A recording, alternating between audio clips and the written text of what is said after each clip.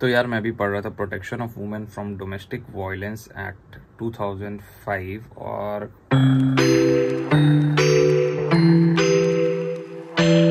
good morning guys welcome back to my channel I hope you are doing good आपका इस नए blog में मैं आपका स्वागत करता हूँ और मैं देख रहा हूँ कि ये जो पढ़ाई वाले ब्लॉग्स डाल रहा हूँ उतने व्यूज़ नहीं जा रहे, लेकिन यार अभी कुछ दिन तो मैं ऐसे ही होने वाला है ये ऐसा ही डालूँगा क्योंकि और तो मैं अभी बाहर जाऊँगा नहीं ज़्यादा, पढ़ना ही ज़्यादा होगा। तो देखो, अगर आप लोग को जमता है तो ठीक है, आप लोग देखो, नहीं जमता है तो भी देखो क्या करोगे। और मैं अभी तो यही डालूँगा और जब तक कुछ अच्छा ट्रैवल ट्रैवल वाला नहीं आता, तब तक तो यही चलेगा।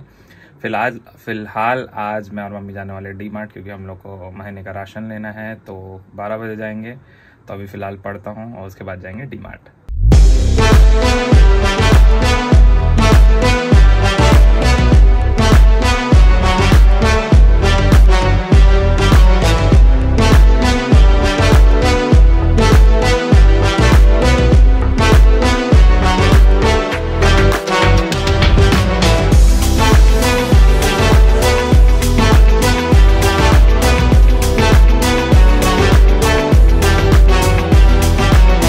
यार मैं भी पढ़ रहा था protection of women from domestic violence act 2005 और उसमें काफ़ी कुछ है जो मुझे तो नहीं पता था, और मुझे ऐसा लगता है कि आप लोगों को भी नहीं पता होगा तो मैं बताता हूँ।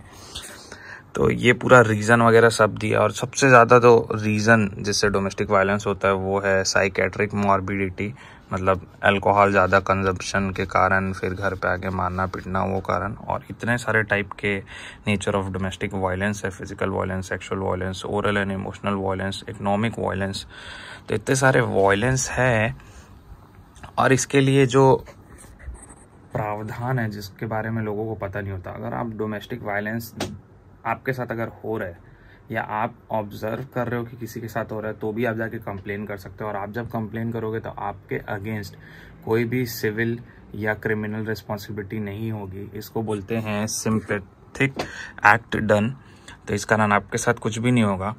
तो होता ऐसा है कि स्टेट गवर्नमेंट जो है, वो एक प्रोटेक्शन ऑफिसर अपॉइंट करती है। और वो कितने भी हो सकते हैं प्रोटेक्शन ऑफिसर और उनका एरिया भी स्पेसिफाई करती है कि प्रोटेक्शन ऑफिसर कहाँ कहाँ पे काम करेगा, किस एरिया पे काम करेगा, और सॉरी उनको बताती है कि आपका काम क्या है एक्चुअली में आपकी पावर्स क्या आपकी ड्यूटीज़ क्या है। फिर जो प्रोटेक्शन ऑफिसर है, उसका मेन जो काम रहता है, वो मजिस्ट्रेट की हेल्प करना होता है, क्योंकि जो एप्लीकेशन देते हैं ना डोमेस्टिक वायलेंस का, जैसे किसी के साथ हो रहा है, किसी पर्सन एक्स के साथ तो मैं भी जाके उसके उसके बिहाफ में मैं भी एप्लीकेशन दे सकता हूँ मजिस्ट्रेट को। और मजिस्ट्रेट के पास टाइम होता है या तो सिक्सटी डेज़ का या तो सिक्सटी डेज़ का रहता है वैसे तो लेकिन वो चाहे तो जल्दी भी दे सकता है। तो मजिस्ट्रेट मोस्टली दो दिन के अंदर एक ऑर्डर देता है प्रोटेक्शन ऑफिसर को कि प्रोटेक्शन ऑफिसर जो है वो नोटिस ऑर्डर निकालता है। नोटिस ऑर्डर में होता ये है कि एक डेट दी रहती है हीयरिंग की। तो हीयरिंग का डेट जो जिसके साथ डोमेस्टिक वायलेंस हो रहा है उसको और जिसने किया है उसको, ये दोनों के पास जाती है।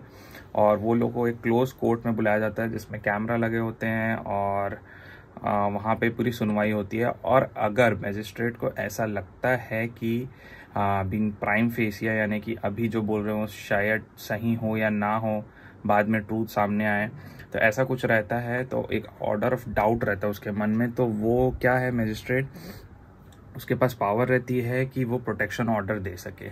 अगर मजिस्ट्रेट को लगता है कि या तो हुआ है डोमेस्टिक वायलेंस या तो होने वाला है तो उसके लिए प्रोटेक्शन ऑर्डर रहता है। तो प्रोटेक्शन ऑर्डर में होता है ऐसा है कि इतने सारे चीज़ है जिससे प्रोटेक्ट करते हैं। Committing any act of domestic violence attempting to communicate मतलब जो वायलेंस कर रहा है करने वाला है या कर दिया है या कर सकता है तो वो बंदा अगले पर्सन से एग्रीव्ड पर्सन से ना कि बात कर सकता है किसी भी फॉर्म में ना उसके वर्क प्लेस में जा सकता है। अगर वो आ, कहीं काम करती वहाँ घुस के तमाशा नहीं कर सकता, उनके घर वालों को मार पीट नहीं सकता जाके या उनके डिपेंडेंट को मार पीट नहीं सकता। तो इतने सारी चीज़ें, और अगर प्रूव हो जाता है कि डोमेस्टिक वायलेंस हुआ था तो उसके उसके लिए इतने सारे ऑर्डर्स है।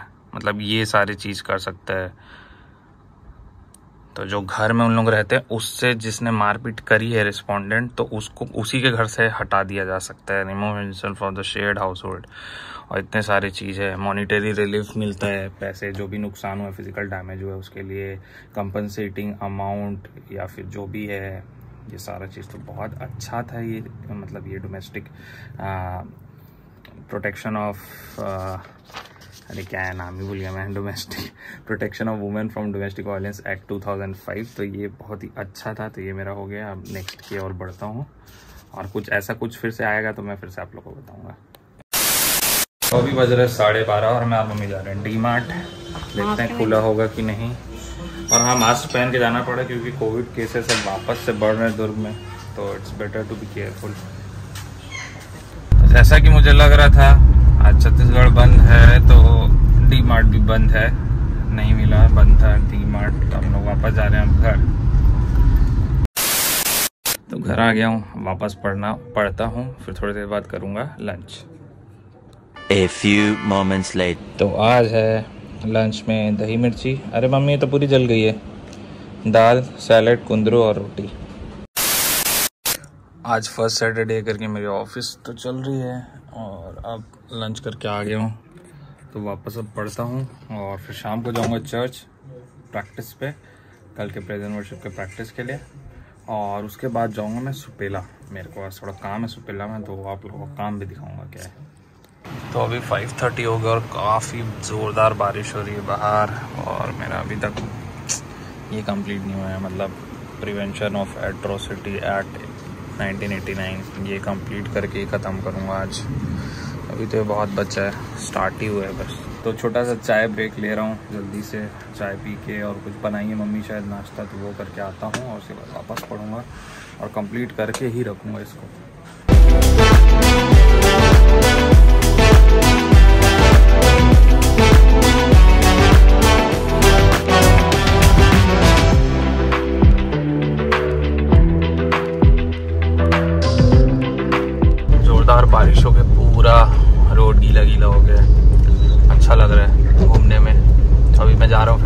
फ़िलहाल कुछ पता करने One eternity later. तो साढ़े सात हो गया बारिश बंद हो गई हम लोग आए हैं चर्च प्रैक्टिस के लिए।